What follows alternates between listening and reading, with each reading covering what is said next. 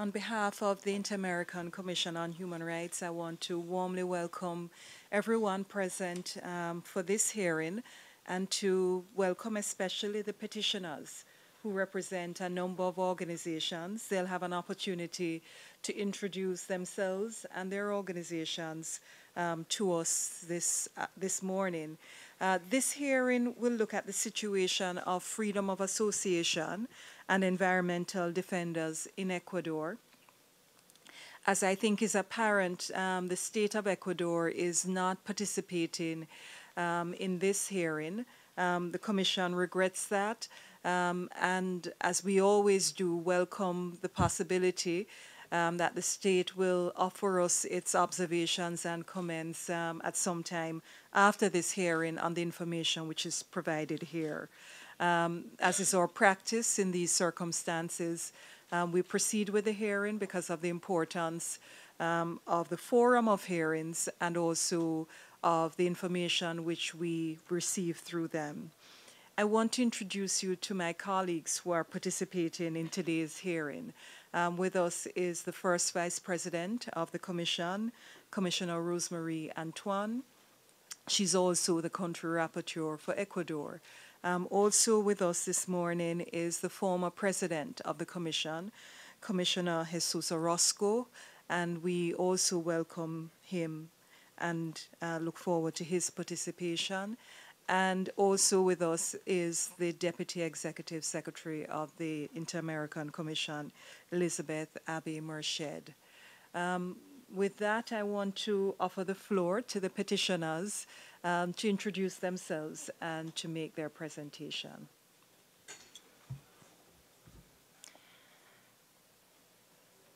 Presidenta Tracy Robinson, comisionados y comisionadas. Muchas gracias por este espacio para tratar sobre la libertad de asociación en el Ecuador, así como el tema de los defensores de los derechos de la naturaleza y de los defensores de los derechos humanos. Mi nombre es María Belén Páez y soy presidenta de la Fundación Pachamama, recientemente disuelta en el Ecuador. Soy una defensora de los derechos de la naturaleza. Lamentamos mucho que las autoridades del Ecuador no estén participando en esta audiencia. Creemos que eh, esto demuestra el irrespeto, esta ausencia de, demuestra el irrespeto a los espacios internacionales de los cuales han sido signatarios. No estamos aquí para defender un caso en particular, de un grupo de poder o una minoría. En la presente audiencia venimos a defender el derecho a la libertad de asociación, que es un derecho que afecta a todos los ecuatorianos y a las ecuatorianas. Quiero presentar a Harold Burbano y a Mónica Vera, los compañeros, abogados de la Fundación INRED, quienes presentarán un análisis del contexto del decreto 016 en el Ecuador. Comisionadas y comisionados, para iniciar el análisis normativo de las amenazas al derecho a la libertad de asociación para defensoras y defensores de derechos humanos y de la naturaleza del Ecuador, en la actualidad es importante tomar en cuenta que ya existían antecedentes jurídicos que restringían el pleno ejercicio de este derecho. En este sentido, cabe destacar que el decreto ejecutivo 3054, promulgado en el año 2002, que incluía disposiciones violatorias como la necesidad de solicitar autorización a, ministerios del gobierno para crear una organización y además la competencia desproporcionada para exigir información a las organizaciones sociales. Posteriormente, en el año 2008, se emitió el decreto ejecutivo 982, el cual expandía las razones para disolver a las ONGs al incluir términos extremadamente ambiguos como causales. Por ejemplo, comprometer los intereses del Estado, aumentando así enormemente la discrecionalidad de funcionarios del gobierno para cerrar las organizaciones sociales. En el año 2013 nace el reglamento del Sistema Unificado de Información de Organizaciones Sociales y Ciudadanas, más conocido como el Decreto 16, que deroga toda normativa anterior y vigente en la actualidad. Es relevante puntualizar que todas estas regulaciones y restricciones al derecho a la libertad de asociación se han realizado mediante decretos presidenciales y no a través de una ley, conforme lo establecen los estándares internacionales en la materia. En ese sentido, debemos enfatizar que las limitaciones a la libertad de asociación y sus formalidades deberían ser discutidas y consultadas ampliamente con la sociedad en general. Ecuador carece de esta normativa y utiliza instrumentos de menor jerarquía para limitar derechos. Asimismo, preocupa de sobremanera que el artículo 26 del decreto 16 establezca varias causales de disolución de organizaciones que incluyen términos que posibilitan la interpretación discrecional, como injerencia en políticas públicas, atentado contra la seguridad interna o externa del Estado o desviación de los fines y objetivos para los cuales fue constituida. Es decir, más del 70% de las causales previstas en el decreto 16 pueden ser interpretadas discrecionalmente por las autoridades públicas. Asimismo, preocupa que el control judicial de estas decisiones discrecionales, conforme lo establece el decreto 16, deba realizarse a través de la vía judicial contenciosa administrativa, la cual constituye una vía inadecuada e inefectiva por los tiempos que se resuelven los casos. Esta información es dada por el mismo Estado, la cual revela que en esta materia el promedio de resolución en primera instancia es de aproximadamente de seis años, hecho que afectaría directamente a la situación jurídica de los miembros de las organizaciones sociales. Señores comisionadas, comisionados, ante estas amenazas constantes al derecho a la libertad de asociación, han existido varias reacciones nacionales e internacionales. Es así que existen actualmente dos demandas de inconstitucionalidad en contra del decreto 16. Estas demandas, el 30 de enero del 2014, fueron acumuladas y aceptadas por la Corte Constitucional en la etapa de admisibilidad. Pero preocupa mucho a las organizaciones aquí presentes el hecho de que no exista un plazo legal específico para que la Corte Constitucional pueda resolver estas acciones de inconstitucionalidad, lo que haría que queden en inseguridad jurídica y puedan seguirse cerrando organizaciones a través de causales que son evidentemente inconstitucionales y contrarias también al artículo 16 de la Convención, ya que, por ejemplo, el artículo 96 de la Carta Magna en el Ecuador establece que Toda organización social puede participar en la ejecución y en la planificación de políticas públicas, pero la norma que regula las organizaciones sociales establece la participación en políticas públicas como una causal de disolución. Además, es importante mencionar la inquietud que ha despertado el decreto 16 en organismos internacionales especializados por su controvertido eh, contenido que es violatorio a normas internacionales. Es así que el 16 de septiembre del 2013, el relator especial de Naciones Unidas sobre el derecho a la reunión y asociación, con la relatora especial sobre la situación de defensores y defensoras de derechos humanos, enviaron una comunicación oficial al Estado de Ecuador mostrando la preocupación en razón al decreto 16. Los relatores, entre otras cosas, declararon su preocupación por la obligatoriedad dispuesta de registrar los proyectos financiados con recursos especialmente extranjeros, incluyendo la fuente de financiamiento. Creemos que esto podría implicar un trato diferenciado y discriminatorio respecto al financiamiento externo, restringiendo de manera injustificada el libre ejercicio del derecho a la libertad de asociación.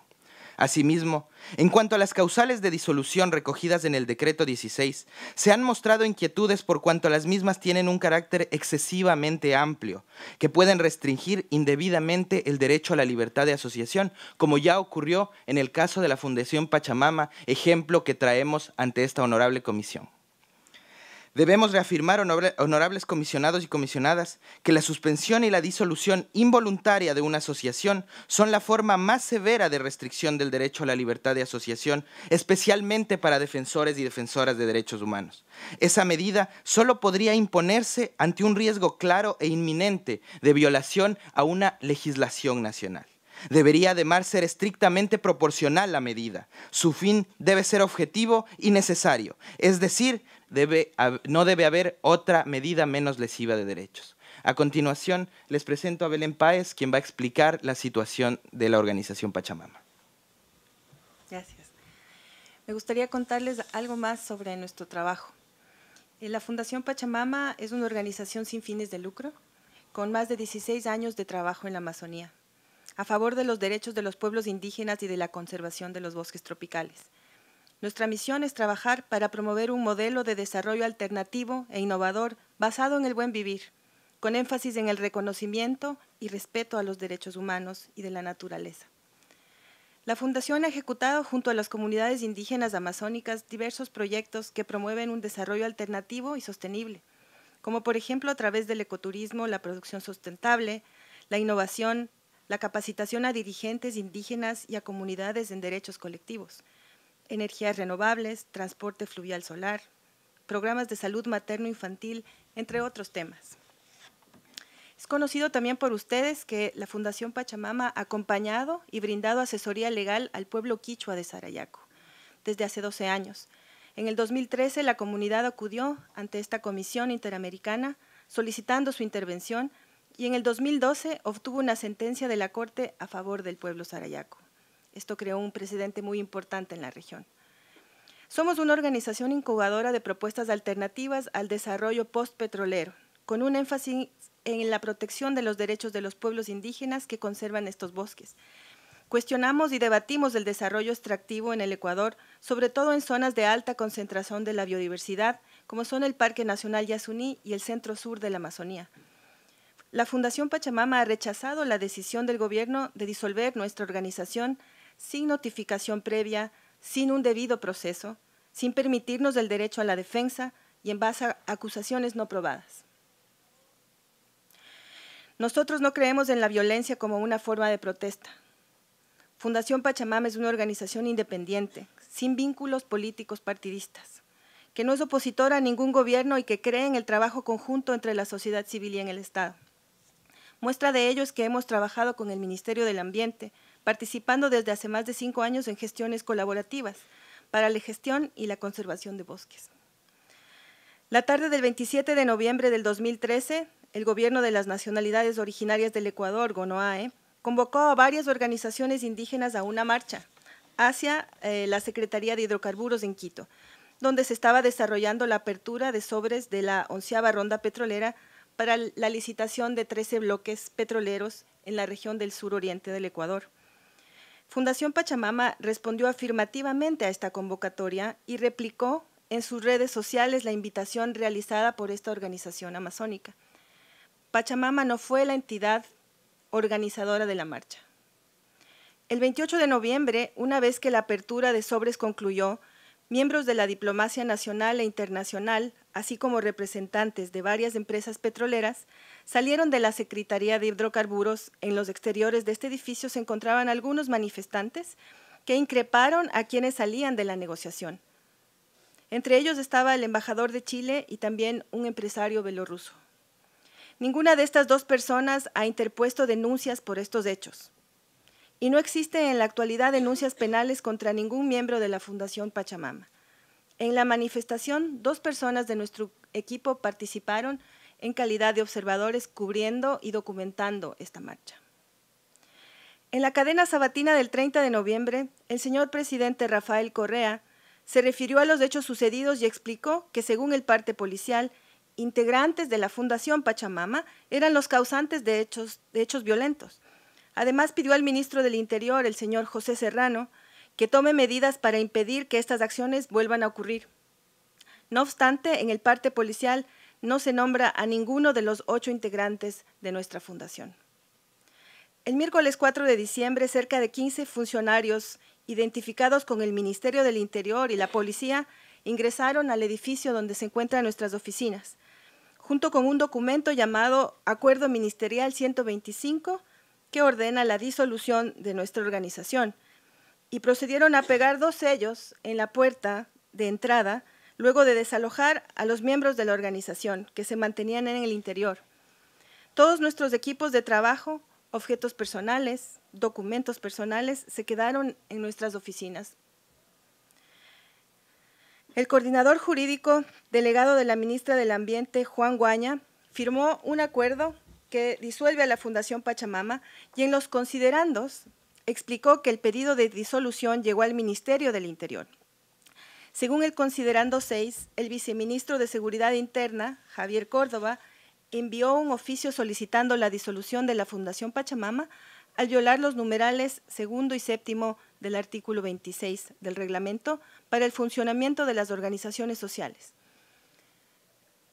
En el sticker que ponen en la puerta de nuestra oficina, dicen, las causales de disolución de esta organización haber, fue haberse desviado de los objetivos para los cuales fueron creados y haber em, participado e intervenido en las políticas públicas.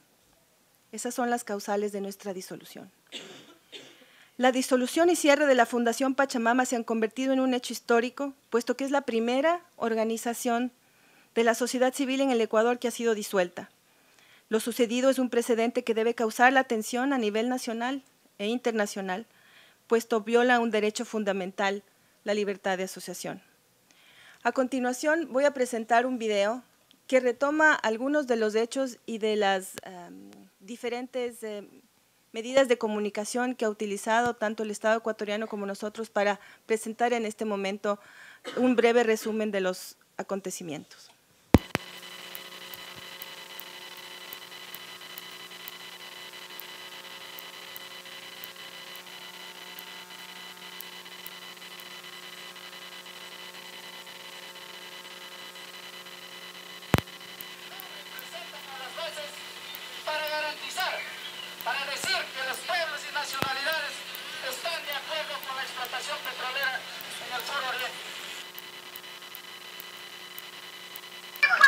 moto policial, el único vehículo en el que podía escapar, ni siquiera importó. Un golpe de lanza en su cabeza. Perdóname, aquí ha sido una gran negligencia de la Policía Nacional. ¿Cómo exponen así, pues, a estos funcionarios? Que cualquier día desquiciada le vaya a gritar ahí, y que le vayan a golpear con, con, lámpara, eh, con, con las lanzas. ¿Dónde estaba la policía, por Dios? Tú me das el reporte quién es el responsable de esto. Si se han convocado por redes, sabían que iban a realizar desmanes. Sabemos qué clase de gente es esta, Estados Unidos y Pachamama financiada del exterior.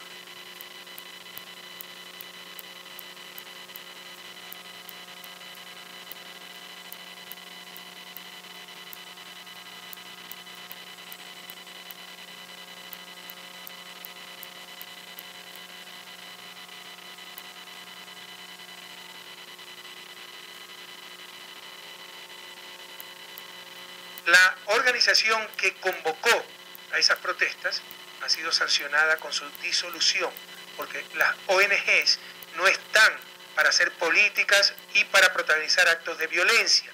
Si quieren hacer política, que sean partidos políticos y no están atentando contra la democracia.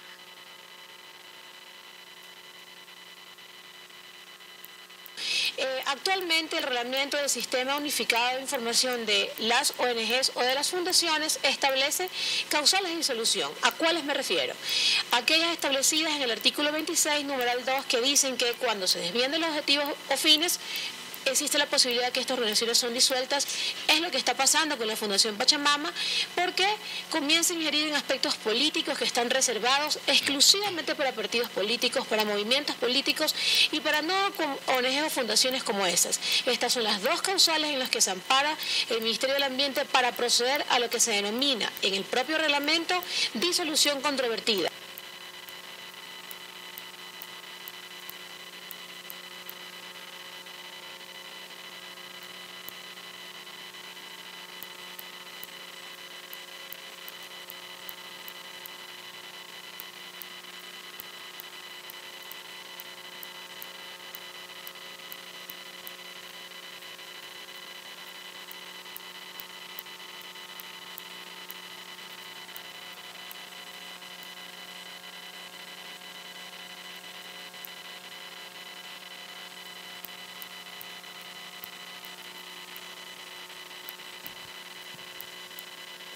Quiero ahora presentar a mi colega, mi compañero Juan Aus, em, director ejecutivo de la Fundación Pachamama, quien presentará un análisis jurídico de los derechos vulnerados en la aplicación del decreto 16 con respecto a la Fundación Pachamama. Honorable Presidenta, comisionados y comisionadas, quiero ser muy enfático en que la aplicación del decreto 16 para disolver a la Fundación Pachamama viene a ser el primer caso de disolución de una organización de la sociedad civil en la historia del Ecuador. y atenta al derecho a la libertad de asociación en los siguientes términos. La Constitución en su artículo 66 reconoce el derecho a asociarse, reunirse y manifestarse en forma libre y voluntaria.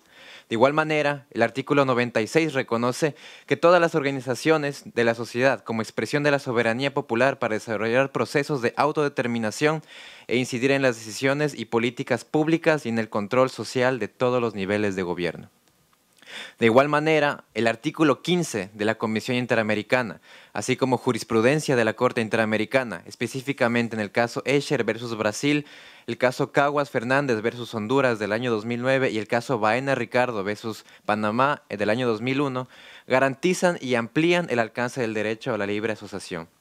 En ese sentido, hay que mencionar que existe una absoluta correspondencia entre los objetivos defendidos estatutariamente por la organización, las actividades que realiza y el mandato constitucional de responsabilidad ciudadana. Visto lo anterior, no resulta ajustado a derecho que se pretenda socavar el derecho de asociación en defensa de los derechos humanos y de la naturaleza mediante la disolución de la fundación. Cabe destacar que en relación al requisito de proporcionalidad, la disolución establecida por el acto administrativo dictado por el Ministerio afecta de forma desmesurada al derecho a la libertad de asociación de los miembros de la Fundación Pachamama. Adicionalmente, existió una vulneración flagrante al derecho al debido proceso al momento de la aplicación del decreto, en ese sentido, la Constitución del Ecuador, en su artículo 76, establece que en todo proceso en el que se determinan derechos y obligaciones de cualquier orden, incluyendo de orden administrativo, se asegurará el derecho al debido proceso, incluyendo que nadie podrá ser privado de este derecho en defensa de ninguna etapa o grado del procedimiento, contar con el tiempo y con los medios adecuados para la preparación de su defensa y ser escuchado en el momento oportuno y en igualdad de condiciones.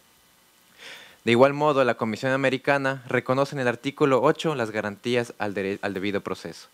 La disolución de la Fundación Pachamama es una sanción de carácter administrativo que se realizó a través de tres actos del poder público expedidos y ejecutados en menos de cuatro horas del día 4 de diciembre del 2013. A la Fundación Pachamama no se le notificó previamente de estos actos, ni tuvo acceso a las pruebas con las que se les acusa de las infracciones para su disolución al no haber sido notificada la organización del desarrollo de un procedimiento de vigilancia y evaluación respecto del desarrollo de las actividades y el consecuente cumplimiento de los fines que se erigieron como pilares de los estatutos, ni haber sido llamados a rendir los descargos derivados del resultado de la evaluación realizada sobre las actividades y métodos de trabajo, el Ministerio del Ambiente omitió dar cumplimiento a los elementos fundantes del derecho al debido proceso. El hecho de haber sido notificados después de haber resuelto no solo no permite ser escuchados, sino que impidió toda posibilidad de defensa. Cabe destacar que durante el proceso de disolución de la Fundación se violentaron otros derechos conexos, como el derecho al trabajo de los empleados de la Fundación, el derecho a la libertad de expresión, el derecho a la propiedad privada, a la protección especial de los defensores de derechos humanos, derecho a la seguridad jurídica y al principio de legalidad, por cuanto un decreto ejecutivo, una norma jerárquica inferior, limita y regula derechos constitucionales. Fundación Pachamama interpuso un recurso de apelación ante el Ministerio del Ambiente, siendo negado el 12 de febrero del presente año para lo cual presentaremos una acción de protección en las próximas semanas, pues se ha tenido acceso al expediente en días recientes y cabe destacar que el recurso de apelación vendría a ser, el recurso la acción de protección, perdón, vendría a ser el último recurso de exigibilidad de derechos dentro del país. Gracias. Nuestros recursos de defensa en el Ecuador se agotan. Y por último quiero dar paso a Alejandra Vicente, abogada de Segil, con recomendaciones y observaciones para esta audiencia sobre el derecho a la libre asociación. Gracias. Ilustres comisionadas y comisionados, en esta audiencia pública hemos evidenciado cómo el Gobierno ecuatoriano ha adoptado medidas administrativas que lesionan el derecho a la libertad de asociación en el Ecuador, que además son violatorias a la propia Constitución de la República, a la Convención Americana de Derechos Humanos y a otros tratados internacionales que han sido ratificados por el Ecuador.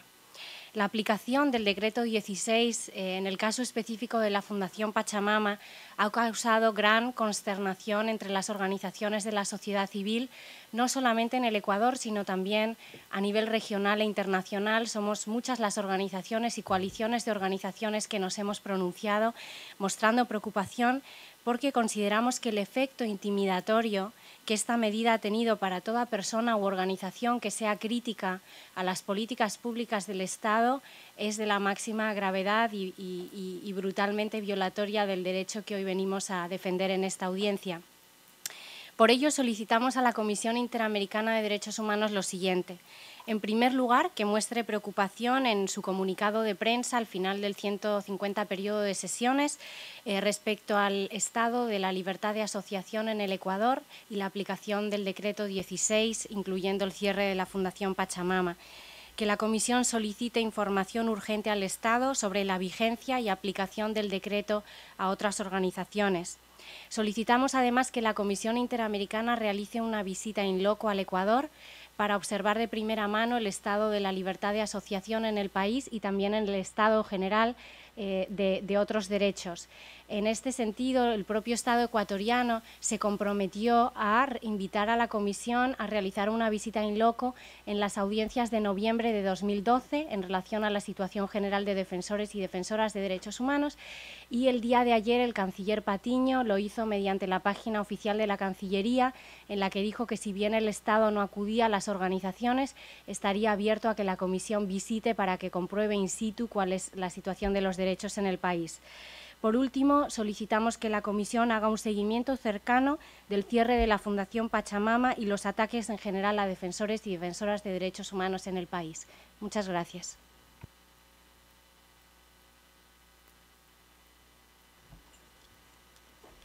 Can I open the floor first for the country rapporteur to make observations? Uh, good morning. I welcome the petitioners to this important hearing. Um, I once again want to reiterate my deep regret at the state's absence. In actual fact, I had quite a few questions for the state had they been here. Um, so I feel handicapped that I'm not able to ask them, but hopefully I'll have another opportunity to do so in good faith on behalf of the Commission. Um, in general, I've in terms of Decree 16, it reminded me a bit of how unions are often treated in terms of registration. I'm familiar with unions being asked to declare objects and purposes and registering. Um, so it, in itself, not so unusual that for, for those purposes, you could have a kind of law that says you must register, you must stay in accord with your objects and purposes. But of course, um, in relation to the governance of unions, although it's not so unusual, um, where we start talking about political purposes and objects. One, we have courts which oversee um, that whole notion of unions getting involved with objects and purposes which are political. And two, the very courts have said that it's very difficult to demarcate between social objects and political objects. So I thought it was an interesting analogy, particularly here, and even more so here, because we're talking not in a narrow way of unions, but organizations that have been constructed to engage in social activities. So for me, um, it, it, it's, it's very difficult to separate the two things. Um, what is interference, uh, as the decree says? How is interference in public policies defined for organizations which uh, have as their objects essentially the public interest? I don't know how you demarcate that. Um, that seems to be a very difficult thing to do.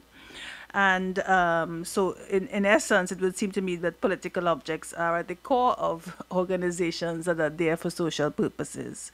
Uh, similarly, for Article 26 and to Article 26.3, I was intrigued um, about the note that I have here about the condemnation of partisan political activities reserved for political parties. I wondered what that meant because it would be helpful to know is there a law that lays down specific reservations for partisan um, political parties. Does the Constitution lay that down? Um, if there's a specific law that says only political parties can engage in these objects, then when was this law promulgated? Was it during this very regime? Is it a long standing law? These would be very important considerations for me and, and goes to the general question I asked about trying to demarcate. In my system, which is the common law system, anyone can form a political party. Um, it could even be two people. In fact, we have had examples of um, probably even one person defining themselves as a political party. Uh, so, is there some law that, that attempts to define this in Ecuador, uh, define a political party in of itself? If so, what are the preconditions for uh, or the criteria for registration? Uh, how are partisan political activities defined? These are all important questions, I think, um, for, for Decree 16. Um, I also thought it wasn't clear to me whether you could have criminal liabilities in addition to the penalty of disillusion. Is, is, is that uh, it wasn't clear to me from the presentation, even my little note that I had here, in which case you have double penalties. So you're dissolved, but you can also be criminally prosecuted. So I would like to, to know whether that is a specific penalty. And if not a specific penalty, can a dissolution lay the groundwork for, pros- for criminal prosecution afterward? Can that be, uh, be sort of evidence, if you like? And again, if so, do we have any clarity as to who would be criminally prosecuted, when and how, uh, under what circumstances could some be dissolved, some could be dissolved and be criminally prosecuted, double penalties? These are important questions for any such law which seeks to restrict uh, freedom of association. So, although we are not saying that um, everybody is free to do what they want at all times. If you are going to restrict, there must be legal certainty, which I think uh, the petitioners are speaking about. So these are very important questions for me, particularly in relation to the information we had um, about indigenous leaders. And I am the rapporteur for indigenous um, peoples, so I'm particularly concerned um, where, as we are told here, there seems to be criminal penalties or criminal proceedings against indigenous leader, leaders and, and organizations, quite apart from dissolution. We have seen a very, very troubling trend at the Commission of the criminalization of legitimate protest for persons, uh, indigenous persons, when they're seeking to protect rights, which, as we know, are already recognized um, in, uh, in, international law in terms of indigenous rights. So um, I'm interested in knowing that connection again between the two. And uh, finally, just to say that I would underscore the due process uh, concerns that were raised in relation to um, these proceedings, you know, what sort of appeals, who, what, where, those would be of interest. Thanks. Uh, Rapporteur for Persons, um, for Human Rights Defenders and former President. Roscoe. Gracias, Presidenta. Eh, también unirme al agradecimiento a las peticionarias y los peticionarios por su importante presentación y desde la Relatoría de Defensoras y Defensores de Derechos Humanos me permito externar eh, que recibimos con grave preocupación la información eh, proporcionada que de la cual, según la cual a través de medidas administrativas se estaría imponiendo eh, obstáculos severos y desproporcionados a organizaciones defensoras de derechos humanos que, de acuerdo con estándares interamericanos no solo estaría violándose el derecho a la libertad de asociación, según han precisado, sino evidentemente eh, también el derecho a defender los derechos humanos, lo cual eh, para la relatoría es, es de, reitero, una grave preocupación. Sin duda estaremos atentos a la situación que, que se genera de esta situación, ya lo destacaba la propia relatora para el Ecuador, la comisionada vicepresidenta Rosmarie Antoine. Eh, eh, eh, también quiero precisar que desde la relatoría le daremos seguimiento y sobre todo por la también cualquier eventual uso indebido del derecho penal en cuanto a la labor de defensoras y defensores de derechos humanos que se ha dado en otros países y que estaría, estaríamos también atentos a monitorear que esto no, y confiamos en que esto no se genere en, en el Ecuador. Yo eh, eh, eh, también quisiera mencionar que, o sea, consultar, ya no en el caso específico que se ha mencionado de la Fundación Pachamama, que sin duda es también de grave preocupación, pero yo refiriéndome al decreto en general, eh, eh, si se, en el mismo se contuvieran algunas garantías al debido proceso, esto es, eh, qué garantías se estarían ofreciendo a que de manera previa a la decisión de disolver se escuchara a las, a las organizaciones o asociaciones que cuenten con determinado registro y que eh, eh, si esto fuese eh, así, quisiera en general respecto de lo que establece el decreto que nos lo precisen o que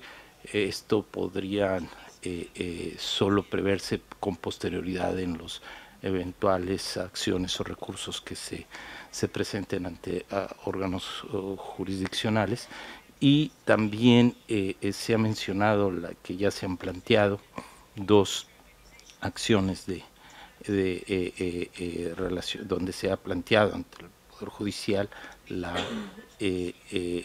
presunta inconstitucionalidad del decreto respectivo, consultaría si también estaría planteándose en el ámbito interno el que la presunta inconvencionalidad que sepa, del, del, decreto respectivo desde su perspectiva y, ya recibimos la información de la tenemos de la Fundación eh, Pachamama, pero quería consultarles si tienen alguna, ah, identifican que hubiese algún otro caso bajo esta situación. Muchas gracias, presidente.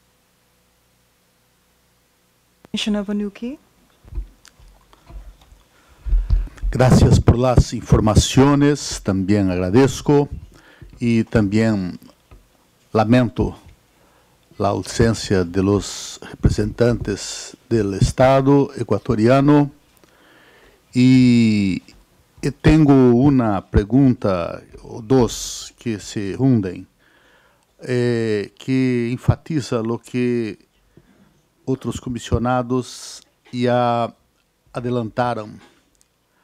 Uh, para mim está claro que há uma possibilidade que eu me gostaria saber suas expectativas a respeito eh, de estas ações que foram recebidas e as duas hundidas em uma si en esta decisión uh, de la Corte Constitucional hubo una instrucción en que el Poder Ejecutivo se ha manifestado, se, se ha manifestado en contra y se hubo una primera decisión judicial uh, independiente en contra de, o no. Y, y lo mismo eh, que se que, que Igor, he, he hecho una pregunta en una otra audiencia a respecto de Colombia e também espero que a prensa de Equador não haga lo que hizo a prensa de Colômbia, dizendo que eu havia hecho um pré uh, juízo, um pré juzgado. Não estou fazendo nada, solo tenho necessidade de mais aclarações para melhor instruir estas possíveis discussões em la comissão. uh, que es también lamentar un poquito uh, el, la interpretación eh, inaceptablemente restritiva del presidente Rafael Correa cuando dice que si quieren hacer política tienen que fundar partidos, que eso no tiene eh, nada de sustentación, porque todos saben que en los partidos se hace la política partidaria, la política electoral y, y la política se hace en, las, en los sindicatos, en las asociaciones, en las iglesias, porque política y, el presidente Correa tiene su formación católica de la Universidad de Louvain, eh, que en la tradición católica, la lucha por el bien común, o todo lo que es de interés de la población, es también política. Uh, pregunto eh, lo mismo que he preguntado eh, en la audiencia eh, com Estado e sociedade civil de Colômbia. Uh, el decreto 16, prima facie, tiene algunas possibilidades muito claras uh, de colisão com artigos da Constituição do Equador. Nós aqui na comissão temos todo o interesse em la questão de, de los de, la, de buen buena utilização de los recursos internos. Como está isso em los dois temas? O tema mais general de interpretação do artículo 16, se há uma possibilidade do Poder Judiciário decidir em contra da constitucionalidade de este decreto 16, es los recursos uh, em contra de la dissolução de Pachamama. São as duas ou três questões que tenho, graças.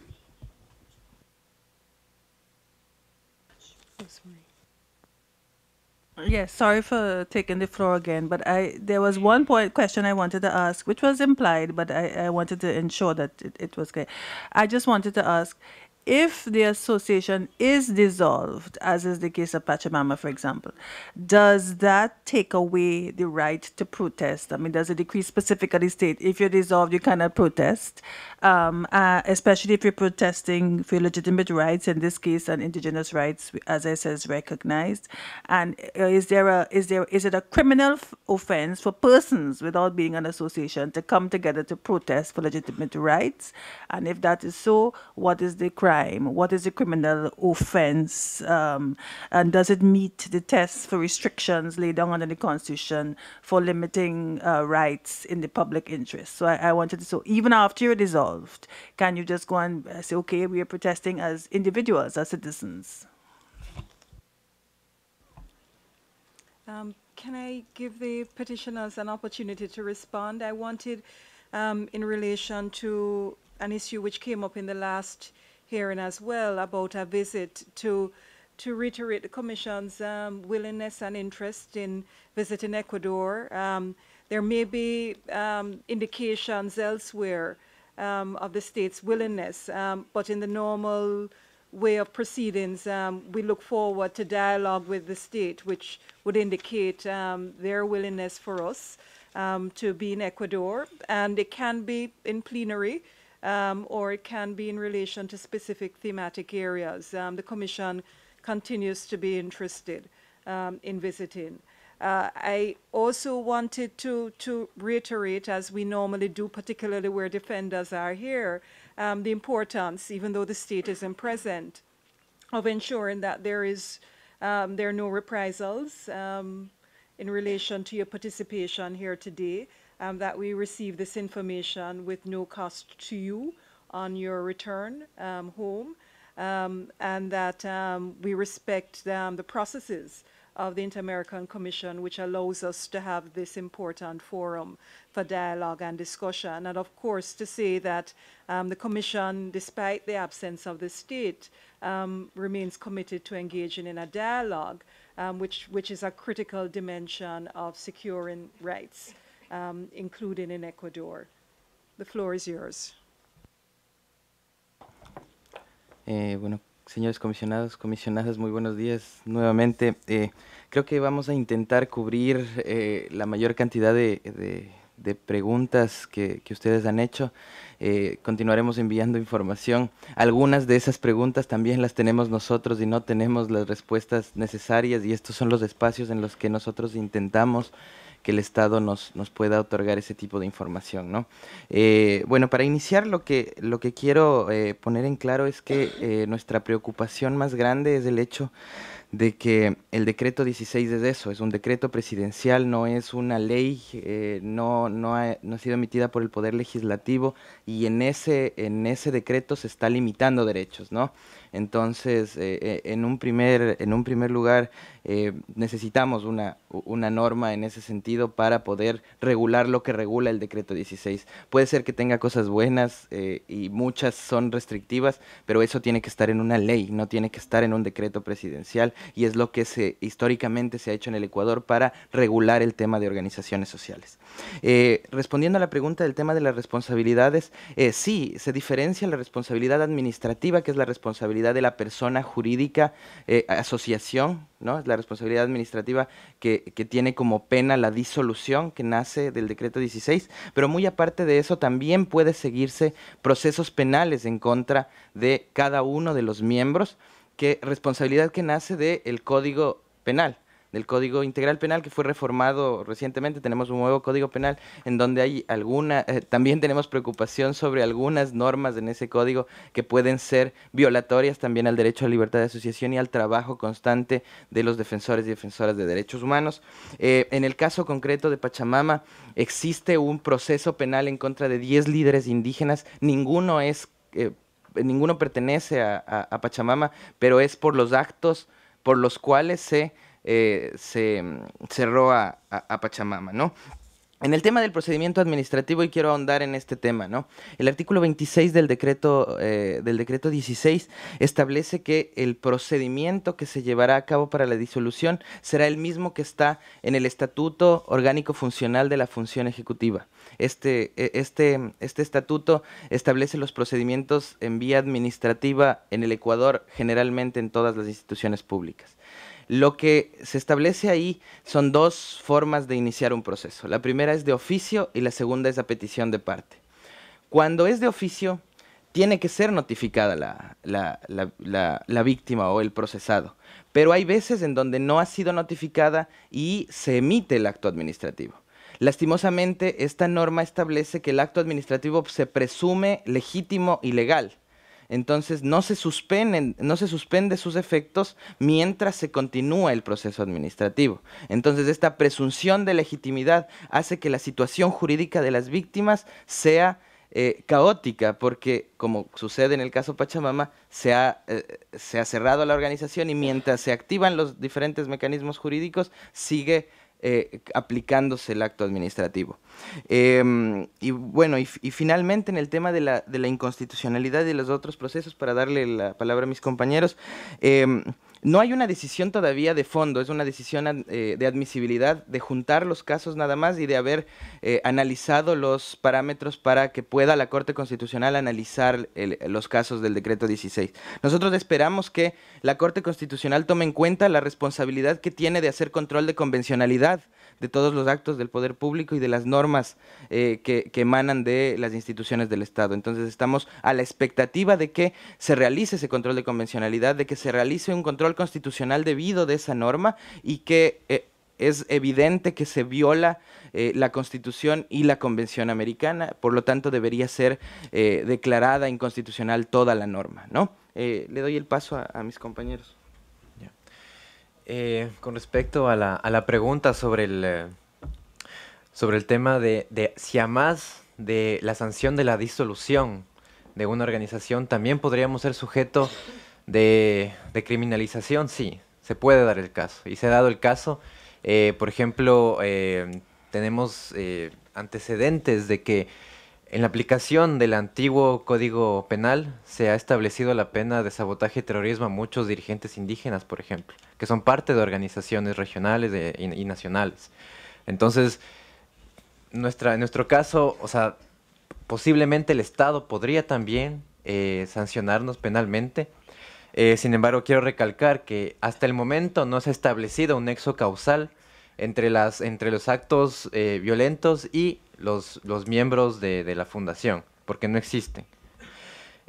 con respecto a la pregunta de cuál es la diferencia entre las organizaciones de la sociedad civil y los partidos políticos, básicamente la, la, la diferencia de fondo no existe, porque todos tenemos el derecho de participar y de ejercer la política como queramos. Eh, es un derecho constitucional e incluso el mismo código de la democracia, que es la ley electoral del país, así lo establece. La única diferencia sería formal en cuanto a lo que los partidos políticos tienen que registrarse en el Consejo Nacional Electoral. Es un requerimiento de, forma y son procedimientos y mecanismos eh, establecidos ahí eh, para recibir fondos públicos, para tener para hacer sus campañas electorales. Más en el fondo y, en la, y, el fondo del, del, derecho político como tal no existe ninguna diferencia. Eh, nosotros eh, vamos a presentar una, una, acción constitucional para que se nos se pueda resarcir nuestros derechos vulnerados a la libertad de asociación y al debido proceso en los próximos días. Y esperamos realmente de que la Corte Constitucional pueda fallar en, en razón del derecho, en razón de razones eh, técnicas, jurídicas y de derechos humanos. Ahora le doy el paso a, Belén.